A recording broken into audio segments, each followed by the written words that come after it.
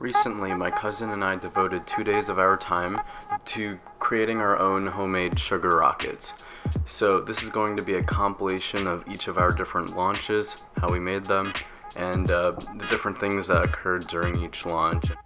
So we made the rocket fuel by using the tutorials listed below.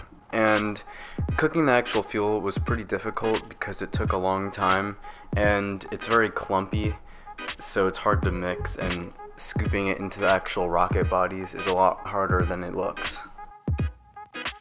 So for the first two launches, we tried using a more traditional rocket design. However, these designs were too short and didn't fly very well.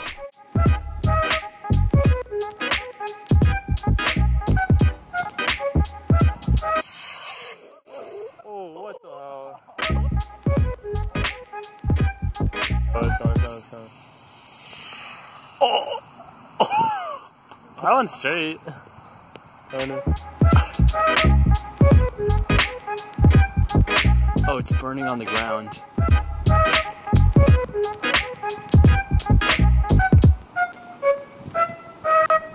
Here you can see the aftermath of the launch pad.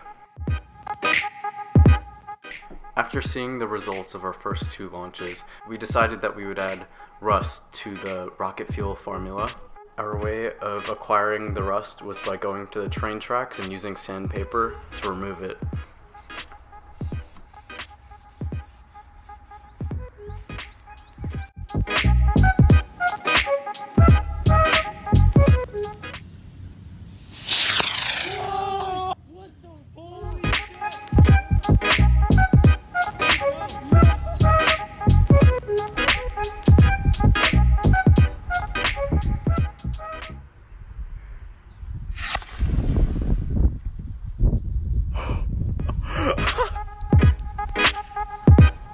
So on this rocket we placed a small copper fitting with a quarter inch hole drilled in the bottom. Therefore there would be a lot more pressure buildup and more force. However this rocket could not withstand the pressure buildup and the top flew mm. off, which is what can be seen flying up as the actual rocket only reaches about 10 feet in the air.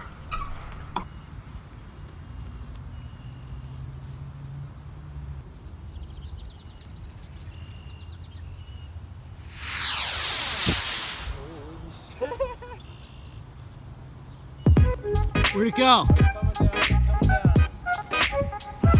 In the rain, I am currently wet and enjoying it. Oh shit, did it go out? It may have gone out. Oh, no. Come on, please go off. It's gonna go off, dude. It's gonna.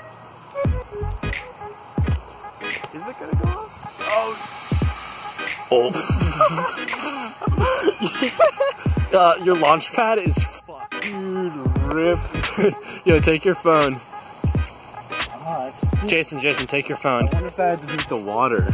What melted? Oh, is this all PVC? Dude, Yo. yo! Look at the ground. has the sketchy metal nozzle built in. Oh yeah, maybe we should back up some more then.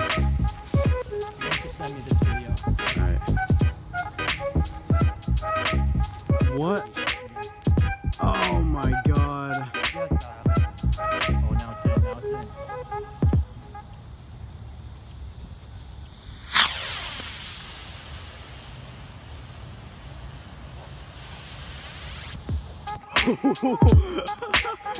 Yo. Let's go check this out.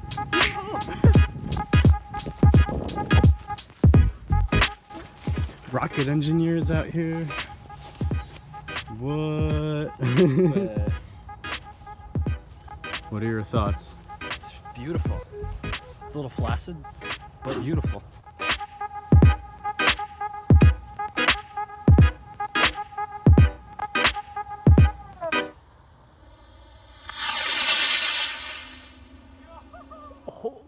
This was definitely our best launch yet, and we used the same technique as we did in launch 3 with the copper fitting. However, this time we also added a plastic fitting on the top to prevent the top from shooting off like it did in launch 3, and as you can see it worked quite well.